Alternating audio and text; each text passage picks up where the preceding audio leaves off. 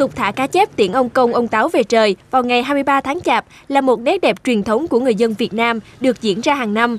Nhưng bên cạnh văn hóa, đó là việc một số người dân còn chưa ý thức sau khi thả cá đã bỏ lại túi ni lông, tạo ra hình ảnh không đẹp sau mỗi dịp Tết Táo Quân. Trước thực trạng đó, nhiều nhóm tình nguyện cá chép tại Hà Nội đã mang thông điệp thả cá đừng thả túi ni lông gửi đến người dân trong ngày Tết ông công ông táo. Từ sáng sớm, các bạn tình nguyện viên tại Hà Nội đã có mặt tại điểm thả cá cầu Long Biên để tuyên truyền và giúp đỡ mọi người thả cá chép tiễn táo quân chầu trời. Đây cũng là năm thứ năm liên tiếp nhóm thực hiện chương trình.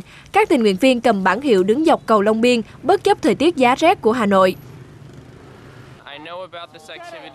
Tôi biết sự kiện này qua Facebook và tôi thấy rất nhiều người nói về hoạt động đó. Tôi nghĩ đây là một hành động có trách nhiệm đối với môi trường. Tôi hy vọng tôi có thể góp phần làm sạch môi trường Việt Nam và bảo vệ thế giới này. Cá sẽ được các bạn tình nguyện viên đưa vào thùng và thả xuống tới gần mặt nước mới đổ xuống sông. Như vậy cá chép sẽ không bị ném từ trên cầu xuống như hàng năm.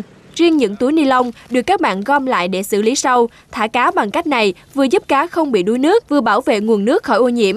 Người dân khá vui vẻ khi nhận được sự giúp đỡ của các bạn tình nguyện viên.